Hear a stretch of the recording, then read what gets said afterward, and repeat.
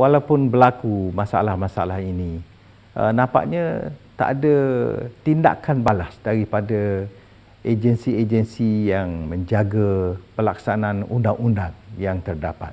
Kalau bawa ke mahkamah pun, uh, kita dengar ada campur tangan daripada pihak luar supaya hakim-hakim ini menjatuhkan hukuman yang tidak setimpal dengan perbuatan yang dilakukan mereka.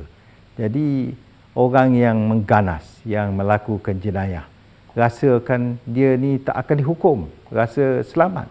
Dan orang biasa pun memang uh, rasa tak selamat nak ke mana-mana kerana tak boleh pembelaan dan keadilan walaupun di mahkamah.